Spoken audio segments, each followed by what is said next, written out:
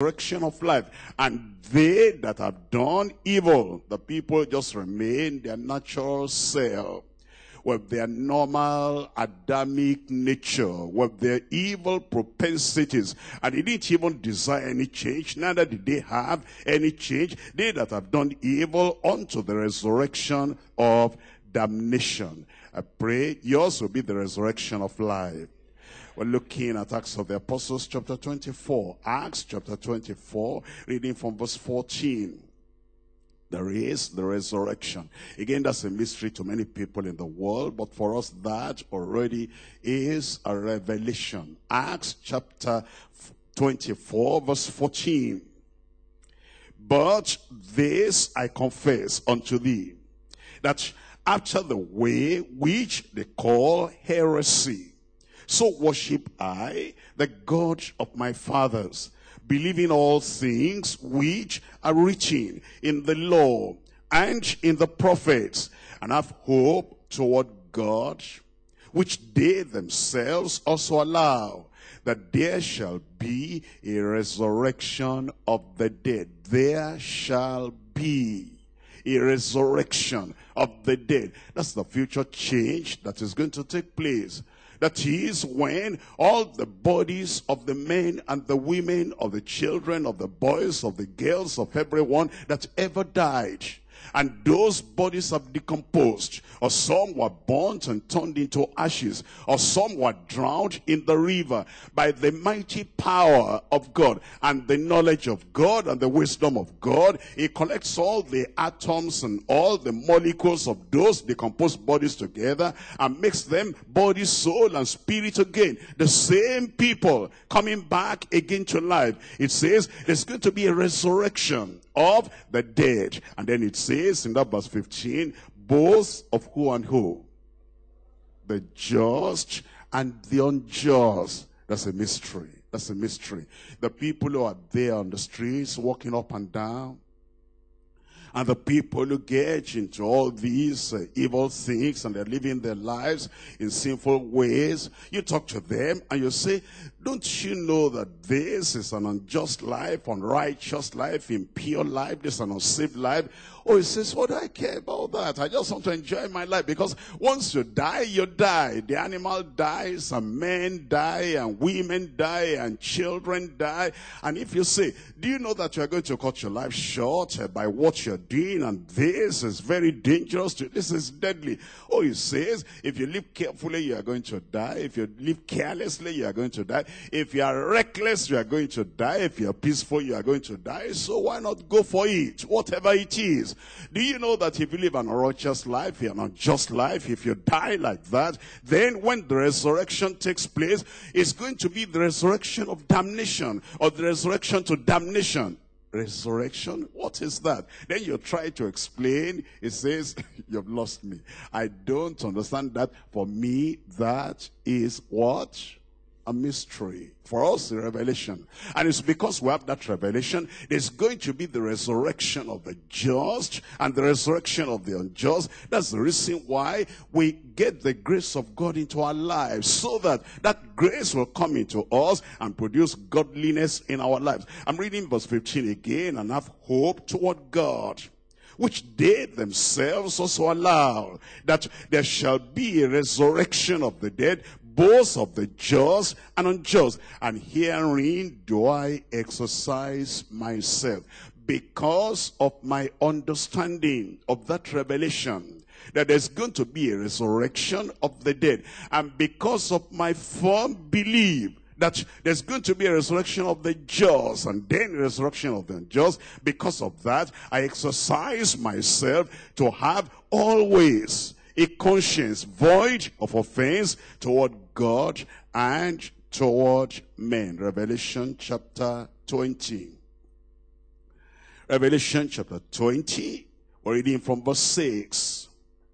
Blessed and holy is he that has part in the first resurrection. This first resurrection, that's the resurrection of the just, the resurrection of the righteous, the resurrection of those who truly belong to the Lord, the resurrection of true Christians who died and they were still holding on to the faith by the time they died.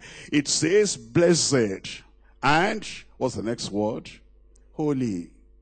If we're going to take part in that resurrection of the just, there must be that holiness without which no man shall see the Lord. Blessed and holy is he that has part in the first resurrection. On such the second death has no power.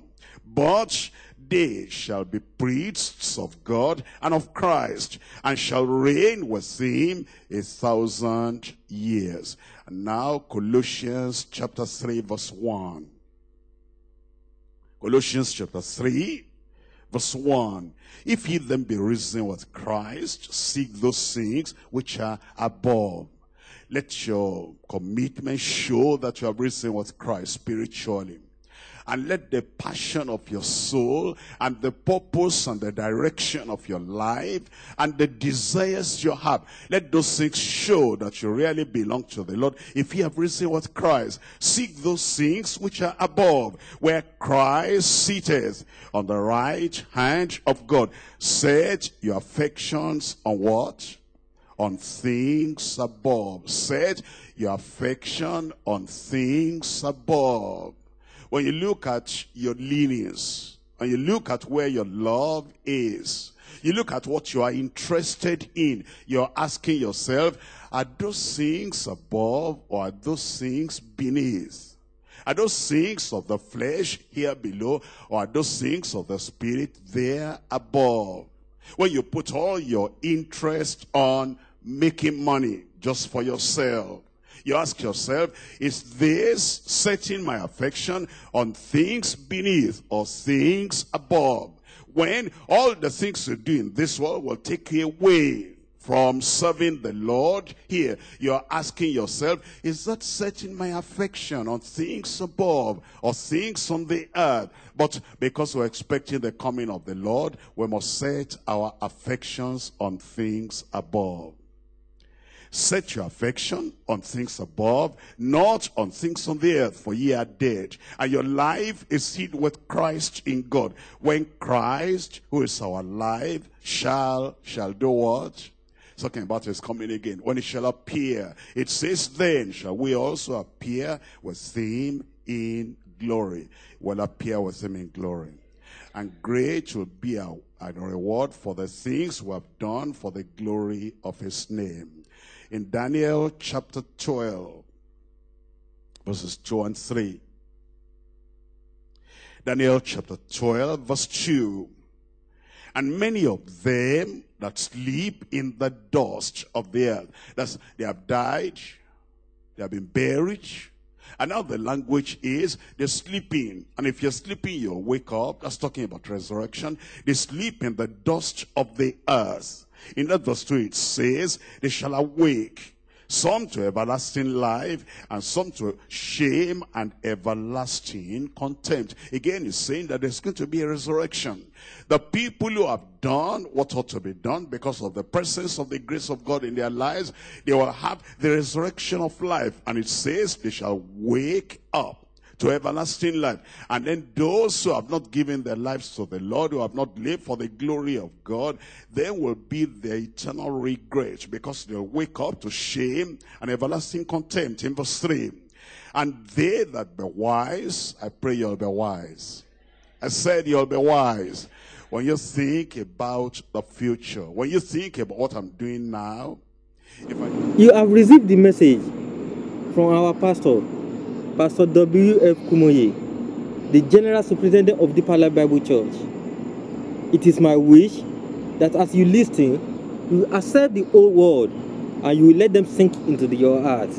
And by the grace of the Lord, you will never regret it. It is my prayer that by next week, when our pastor shall come up again to present another message, you will be there, your family will be there, and your friends. And I believe as you are listening to the message every week, by the grace of the Lord, you will never be the same. Let us pray.